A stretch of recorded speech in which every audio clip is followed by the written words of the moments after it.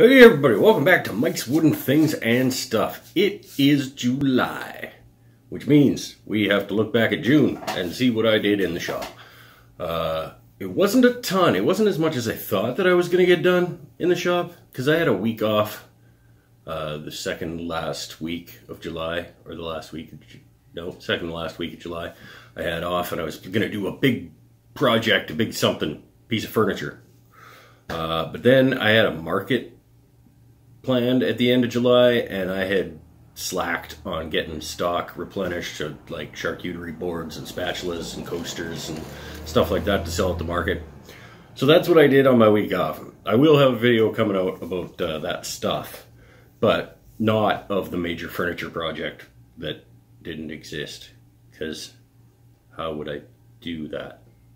But anyway, um, I did some stuff in July. Just nothing really worth filming because I did uh, I did about a 12 pack of those beard combs and I didn't video that because I'd already shown how to do a beard comb so I didn't feel like showing how to do 12 beard combs. Uh, I did another sandwich board for my art gallery friend and I had already done a video on sandwich boards so I didn't do that either. Um, what else did I do? I hit my finger on my bandsaw. That that was a fun thing to do. Don't do that. By the way, that's what I have to say about you, bandsaw finger situation. But apparently I'm a ninja, and uh, I hit my finger on my bandsaw and pulled it away so fast that I did not lose the end of my finger, uh, but it was pretty damaged.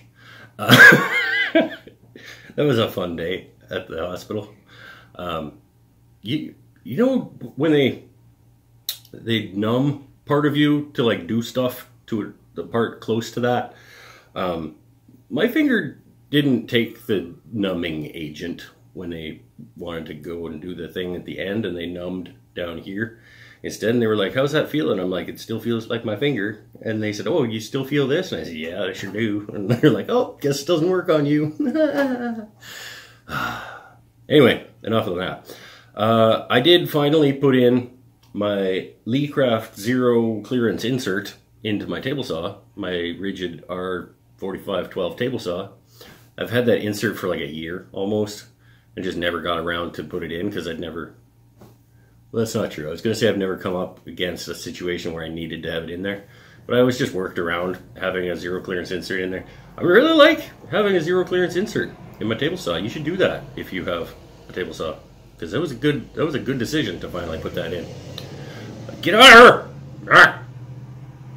Um, and like I said, I did a bunch of charcuterie boards and coasters and stuff, and I'll have a video coming out about those. So uh, I also cleaned up the shop a couple of times because I cleaned it and messed it and cleaned it and messed it.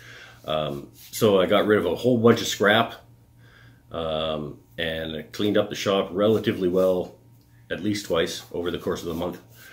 Um, and uh, yeah, that's about it, really. I, I decided on my week off that I would do those market things and take some relaxing time. So that was part of the shop cleaning was burning some stuff in my fire pit and just chilling out with some beer, and it was great. Uh, next month, probably much of the same as past month. I do have another market coming up at the end of July.